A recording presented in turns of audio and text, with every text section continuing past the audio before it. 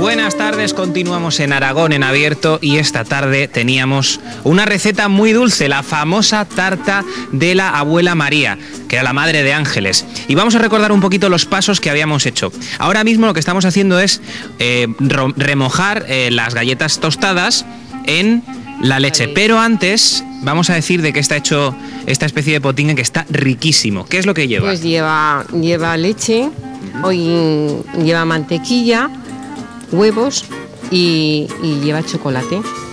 Todo bien batido y se incorpora a las galletitas. Eso es. Y esto se pueden hacer tantas capas como queramos, ¿no? Sí, sí, la altura Ángeles. que tú desees hacerla.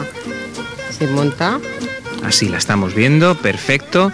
Esto es dedicarle tiempo, ¿sabes? Muchas veces a la repostería no nos atrevemos porque pensamos que es complicado, pero para nada, esta receta es muy fácil de hacer, sí, ¿no? es muy fácil y la verdad es que les gusta mucho a los chavales porque es la típica tarta que, se la come todo el mundo. Me dice Ana Victoria que a los no tan chavales, ¿qué pasa? ¿Que quieres pegarle un bocadito tú, Ana Victoria? Mm, se te está haciendo la boca agua, claro, como no has merendado todavía. Claro. Esto que estamos haciendo ahora mismo es añadirle un poquito de, De chocolate. chocolate. rallado. Y ahora le incorporo también coco rallado. ¿Eh? Y después ya continuamos con la capa de galletas otra vez. Y así nos alturas. podemos estar pues tantas alturas como queramos. Podemos hacer una torre si, si queremos. Tan alta como la que tenéis aquí, tan alta como la iglesia de es Alfajarín. bonita la torre de Alfajarín, ¿eh? Bueno, pues cuando terminemos de mm, montar prácticamente cuántas capas, tres, cuatro capas aproximadamente, nos toca la decoración. Y para decorar la tarta podemos emplear varios motivos. Podemos utilizar lo que estás viendo, piñones, podemos utilizar nata montada.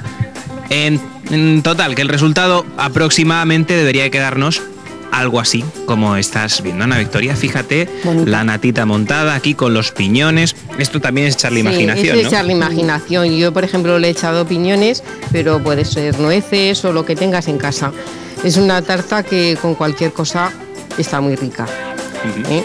Bueno, eh, por cierto, quiero enseñarte una cosita para que veas las capas cómo se han quedado. Fíjate que aquí por lo menos hemos hecho como cuatro o, o cinco Sí. capas aproximadamente. Porque ya no es necesario, pues, Adrián, meterla al horno ni simplemente.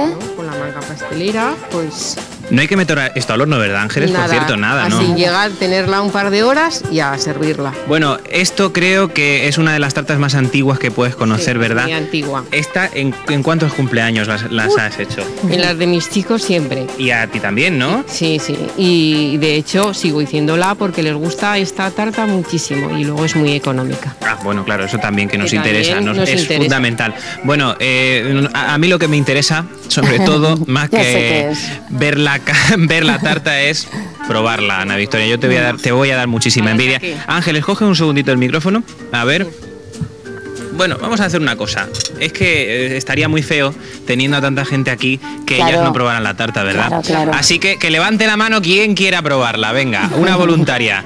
Ahí, venga, vale, vale. A ver, nos vamos a acercar aquí para que nos den, para que nos den el veredicto. La tarta y la cucharita. Y ya nos dices qué tal ha quedado. A ver, Ángeles, momento de tensión. ¿Cómo ha quedado? Buenísima. Buenísima. Bueno, pues estupendo. Una tarta riquísima. Pues nada, Ana Victoria, yo creo. Sí, sí, claro que se la comen. Aquí ya antes, antes nadie levantaba la mano, pero ahora todas mm, le quieren hincar el diente. Bueno, muchísimas gracias.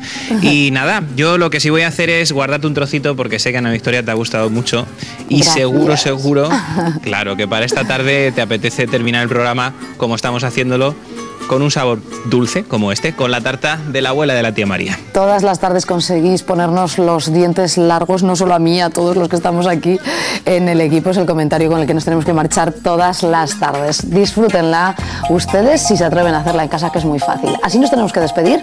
Ya saben que estamos esperando sus llamadas de teléfono o sus correos en nuestra dirección para que nos cuenten todo aquello que ocurre en su pueblo, en su ciudad y sus historias. Nosotros se las podemos transmitir a todos los aragoneses. Mañana regresaremos en torno a las 6 y 10, estamos aquí. Así que gracias como siempre por elegirnos y hasta mañana.